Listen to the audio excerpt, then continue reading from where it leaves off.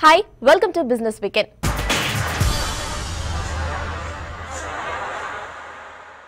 ఈ వారం దేశీయ మార్కెట్లో బుల్ రంకెలు వేసింది. గ్లోబల్ మార్కెట్ల సపోర్ట్ అంతర్జాతీయ మార్కెట్ల నుంచి సానుకూల సంకేతాలు రూపాయి స్ట్రాంగ్ కావడం ఎఫ్ఐఐ పెట్టుబడులు పెరగడంతో ఈ వారం మార్కెట్లను ముందుకు నడిపించాయి. ఆరు నెలల తర్వాత సెన్సెక్స్ కీలకమైన ముప్పై ఎనిమిది వేల మార్క్ను దాటింది.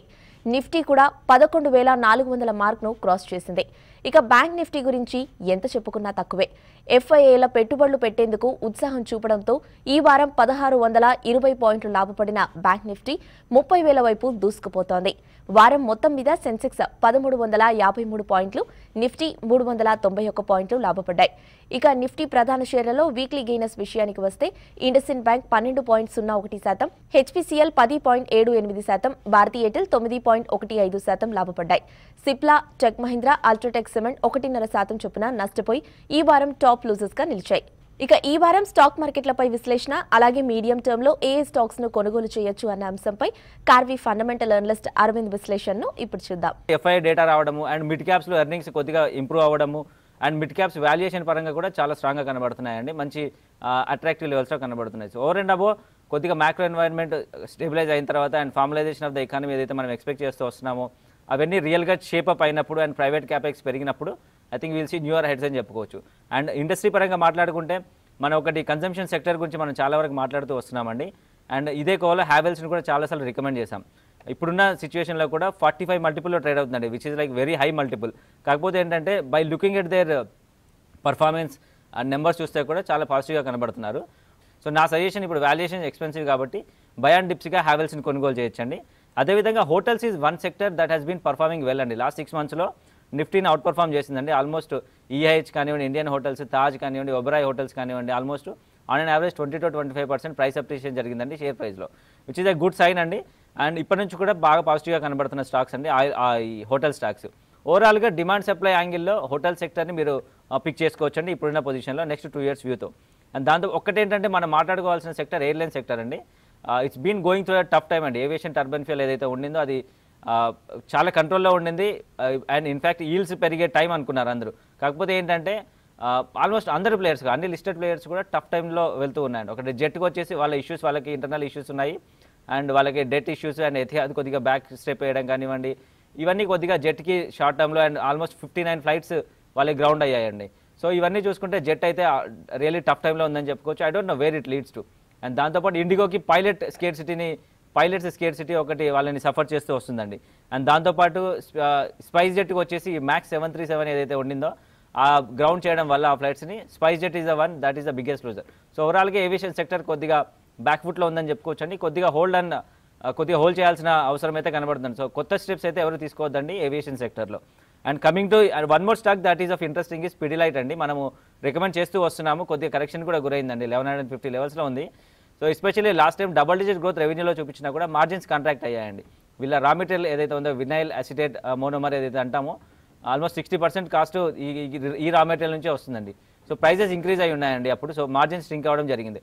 సో ఇప్పుడున్న సిచ్యువేషన్లో ప్రైజెస్ ఈజ్ అవుతూ వస్తున్నాయి. అలాగే అదేవిధంగా రూపీ స్ట్రాంగ్ అవ్వడం అనేది వీళ్ళకి కలిసి వచ్చే అంశంలాగా చూసుకోవచ్చండి. అండ్ దాంతోపాటు ప్రైవేట్ సెక్టర్ బ్యాంక్స్ ఒకటి uh, మనం రికమెండ్ చేస్తూ వస్తున్నామండి. In fact mutual fund interest కూడా బాగా పెరగడం జరిగిందండి. లాస్ట్ వన్ మంత్లో almost Kotak Mahindra bank twenty one lakh shares trade అయ్యాయండి. వీళ్ళు బయింగ్ చేయడం జరిగిందండి. దాంతోపాటు ఐసీఐసీ కూడా another nineteen lakh shares and Axis bank కూడా twenty seven lakh shares buying జరిగింది. సో మనం రికమెండ్ చేస్తూ వస్తున్న స్టాక్స్ అండి ఇవన్నీ. ఇవి ఇవి they have turn like mutual fund friendly అని చెప్పుకోవచ్చు ఇప్పుడు సిచ్యువేషన్లో డెఫినెట్లీ మంచి స్ట్రాంగ్ బ్యాంక్స్ uh, అండి ఇవన్నీ. ICICI bank and Axis bank are my favourites అండి ఇప్పుడున్న సిచ్యువేషన్స్లో సో ప్రైవేట్ బ్యాంక్స్ కొద్దిగా రాడార్లో ఉంచుకోవాల్సిన టైం దాంతోపాటు వన్ మోర్ చేంజ్ అండి. బ్యాంక్స్ పరంగా ఎస్బీఐ వాళ్ళ రేట్స్ని రెపో రేట్కి లింక్ చేయడం. So one are players so ఓవరాల్గా వన్ అండ్ అందరూ కూడా ఈ రెపో రేట్కి లింక్ చేయడం అనేది ఇన్ఎవిటబుల్గా కనబడుతుంది. సో ఎలాంటి మార్జిన్ ఇంపాక్ట్ ఉంటుంది అనేది కమింగ్ క్వార్టర్స్లో కనబడుతుందండి. సో ఓవరాల్గా ఇన్ఫ్లేషన్ మ్యాక్రో నెంబర్స్ పాజిటివ్గా ఉన్నాయి. అండ్ మిడ్ మిడ్ క్యాప్స్ కూడా వాల్యుయేషన్స్ పరంగా అట్రాక్టివ్గా ఉన్నాయి. ఓవరాల్గా చూసుకుంటే we're on a good front on equity side అని చెప్పుకోవచ్చండి. ఓన్లీ ఒక aviation sector and auto sector straight away front line auto స్టాక్స్ని కొద్దిగా అవాయిడ్ చేయొచ్చు జెట్ ఎయిర్వేస్ కష్టాలు రోజు రోజుకి రెట్టింపవుతున్నాయి. లీజుకిచ్చిన విమానాలను వెంటనే వెనక్కి ఇప్పించాల్సిందిగా ఎయిర్ క్యాప్ జీఈసీఏలు డీజీసీఏకు దరఖాస్తు చేసుకున్నాయి. విమాన బకాయిలను జెట్ ఇప్పటికీ తీర్చకపోవడంతో రెండు సంస్థలు లీజ్ ఒప్పందాలను క్యాన్సిల్ చేసుకోవడానికి సిద్ధపడినట్టు సమాచారం. అయితే ఈ వార్తలపై జెట్ ఇంతవరకు స్పందించలేదు. స్టూడెంట్స్ని ఆంటర్ప్రీనర్స్గా తీర్చిదిద్దడానికి కృషి చేస్తున్న NGO organization TiE Hyderabad TiE grade మూడో ఎడిషన్ను ప్రకటించింది. మూడోసారి నిర్వహించబోయే బిజినెస్ ఇండియా టోర్నమెంట్ ఏప్రిల్ నుంచి జూన్ వరకు జరగనుంది. ఇందులో పాలు పంచుకోవాలనుకునే కళాశాలలు WWW dot Hyderabad dot TiE ఓఆర్జీకి దరఖాస్తు చేసుకోవాలని టై హైదరాబాద్ ప్రెసిడెంట్ సురేష్ రెడ్డి తెలియజేశారు. ఇందులో గెలిచిన స్టార్టప్కు ఏడు లక్షల రూపాయల నగదు బహుమతితో పాటు ప్రశంసా పత్రాన్ని అందించనున్నారు. గత రెండు ఎడిషన్లలో ఇంజనీరింగ్ టెక్నాలజీ కళాశాలలకు చెందిన విద్యార్థులు మాత్రమే పాల్గొనగా ఈసారి ఫార్మాస్యూటికల్స్కు చెందిన కాలేజ్ స్టూడెంట్స్కి కూడా పార్టిసిపేట్ చేసే అవకాశం కల్పించనున్నట్టు వివరించారు. Should see that that we to bring more clarity because to make to more successful and more deeper so మా బ్యాక్ ఎండ్ సిస్టమ్ని ఎన్హాన్స్ చేయాలి plus all of us for example board ఉందనుకోండి మా బోర్డులో all the board members also should have this very common objective all the charter members should have a common I'm trying to lead all that towards a simple thought is this is what we stand for దాన్ని repurposing అంటారు మామూలుగా so we want to create a clear purpose why does TiE exist ఆ purpose మీద మనం work చేస్తాం అనమాట it is very it is not new programs while we have started couple of new programs last we started something called open mic మీరు ఇందాక చెప్పారు so open mic వల్ల ఏమవుతుందంటే ఈ స్టార్టప్స్ అంతా they can come out every month end last day of the month they can come and we have a place that we'll announce. They can come and participate in an informal gathering where they can meet charter members and bounce their ideas. If something is good, they can connect. అట్లా ఉంటుంది plus we have other ideas that we're working on but more importantly it is about ensuring entrepreneurship థాట్ని మనం ప్రాపర్గా we're trying to push it into the society Um, Um, అంటే last twenty years చూస్తానండి ఇండియాలో మొత్తం IT revolution జరుగుతున్నది. But ఈ current వచ్చే కొత్త టెక్నాలజీస్ రెవల్యూషన్ ఒక ఇంట్రెస్టింగ్ చేంజ్ నా పర్సనల్గా అబ్జర్వ్ చేసింది ఓవరాల్గా మేము డిస్కస్ చేసినప్పుడు చూసింది ఏంటంటే ఈ టెక్నాలజీ రెవల్యూషను బేస్ వాటికి కూడా బాగా ఇదవుతుంది అంటే ఒక ఎగ్జాంపుల్ ఇప్పుడు మేము చెప్పిన అబ్బాయి ట్వంటీ సెవెంటీన్ విన్నర్ ఎవరైతే ఉజ్వల్ అని ఉన్నాడు అబ్బాయి.